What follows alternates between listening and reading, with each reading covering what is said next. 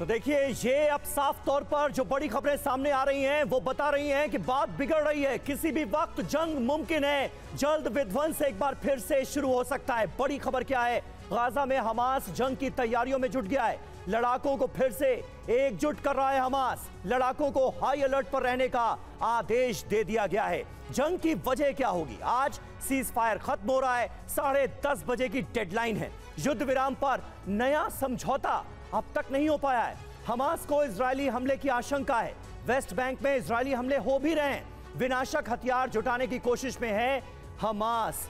तो ये इस वक्त की सबसे बड़ी खबर है।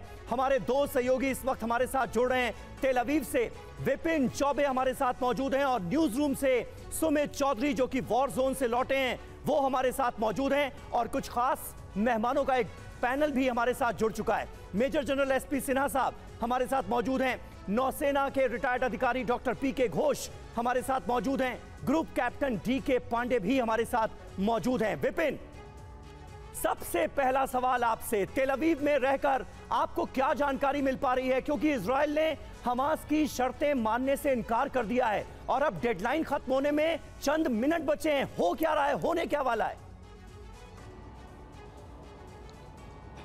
देखिए, समीर, इस वक्त इसराइल में छह बज के चालीस मिनट का वक्त हो चुका है।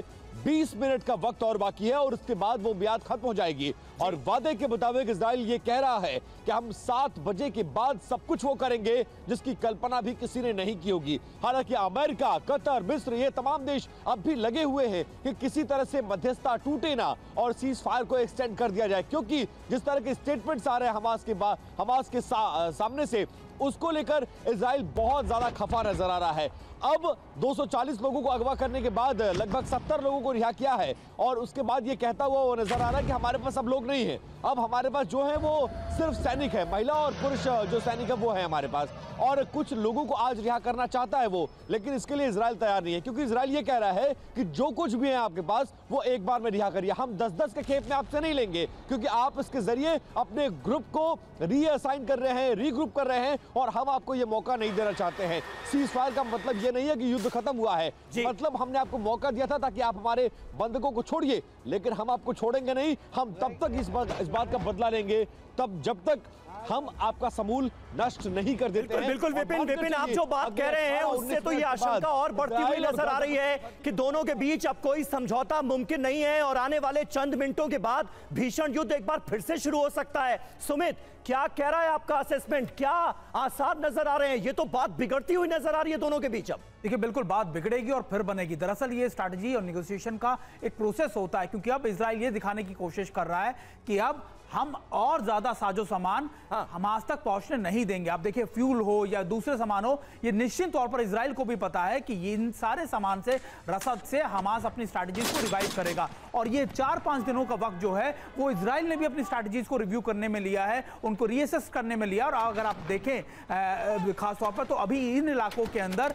इसराइल की फोर्सेज के साथ साथ आगे के जो इलाके हैं, उनमें किस तरीके से ऑपरेशन चलेंगे तीनों फोर्सेस के साथ में, उनको लेकर भी असेसमेंट किया जा रहा है। और निश्चित तौर पर देखिए, अभी मोटे तौर पर अगर आप देखें तो अभी सिर्फ़ और सिर्फ़ इसराइल का मकसद है ना सिर्फ़ अपने बंधकों को जल्दी से वापस लाना, बल्कि यह भी है कि अपनी स्ट्रैटेजीज को आगे एनहांस कैसे करना है, इसको लेकर भी ऑन ग्राउंड सारे वर्क पूरे कर लेना।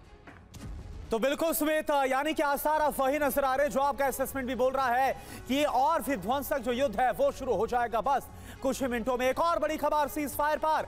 हमास का क्या बयान आया? ये आप देखिए, युद्ध विराम पर। नया समझौता नहीं। इसराइल का बंधकों को लेने से इंकार सात महिलाएँ और बच्चों को लेने से इंकार ये हमास की तरफ़ से कहा जा रहा है कि सात महिलाएँ हैं और बच्चे इस वक्त हमारे पास है, लेकिन इसराइल ने इंकार कर दिया है। और हमास की शर्त है आप इसराइल की तरफ़ से नहीं मानी जा रही। यही वजह है कि अब और भी विध्वंसक युद्ध के बस कुछ ही देर में शुरुआत होने के आसार हैं।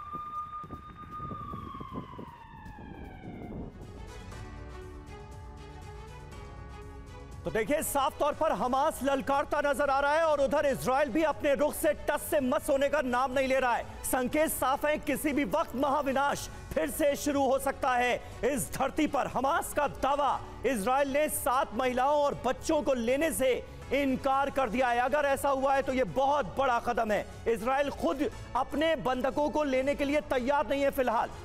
इसराइल ने तीन लोगों के शव लेने से इनकार कर दिए हैं। करुणा यह भी एक अहम डेवलपमेंट। और देखिए हमारे साथ Sinha sir SP Sinha sir सवाल मेरा आपसे ही है। ये जो हमास दावा कर रहा है कि महिलाओं और बच्चे जो बाकी साथ बंधक है उन्हें इंकार किया जा रहा है इसराइल की तरफ़ से लेने में इस पर कितना विश्वास किया जाता और अगर वाकई में ये बात सच है तो क्या अब इसराइल की पूरी मंशा बंधकों से ज़्यादा अब हमास का खात्मा करने पर यही वजह है कि यह सब कुछ हो रहा है? हमास झूठ बोल रहा है वो गेम खेल रहा है। और वही नहीं हमास के पास जो कैदी हैं उसके अलावे भी एक पैलेस्टीनियन इस्लामिक जिहाद ऑर्गेनाइजेशन है। जी। उसके पास भी कैदी है। और जो कि हमास बोलता है कि नहीं नहीं हमको छोड़ के और किसी के पास कैदी नहीं है। पहली बात। दूसरी बात वो फिगर के साथ खेल रहा है। वो बोल रहा है कि खाली और आइडेंटिटी के साथ खेल रहा है। वो बोल रहा है कि एक जो हमारे पास कैदी है P POW prisoner of war वो सिर्फ़ और सिर्फ़ सैनिक है इसराइल के। गलत। सिविलियंस भी हैं। इसराइल ने कहा है कि सात बच्चे और औरत उनके औरत उनके पास है और तीन डेड बॉडी ये हमको हैंड ओवर करो। और, और एक बिंदु। इसराइल थक गया है इस तरह से बार्गेनिंग देख देख के हमास का स्टाइल का। वो बोलता है एक झटके में डील खत्म करो। जो रिटर्न करना पीओडब्ल्यू जिस रेशियो में वो करो खत्म करो। ये एक पीस मील लड्डू देने से कि ये कर लो फिर छोड़ेंगे फिर ये करेंगे वो करेंगे। आगे कदम फॉरवर्ड मूवमेंट बैकवर्ड मूवमेंट नहीं चलेगा। तीसरी बात ये जो रेशियो हमास ने कहा one is to three ratio ratio का क्या मतलब है? वन इज़ टू वन होना चाहिए। कि भाई एक इजरायली का सोल्जर या एक पीओडब्ल्यू और तीन हमास का निकालो। चौथी बात ये क्या हम ये नहीं लेकिन इसराइल पर एक तरह का दबाव है ना क्योंकि बंधक अभी हमास के कब्जे में हैं और बंधक भी हो सकते हैं इसके पूरे आसार हैं और एक एक जान कीमती है।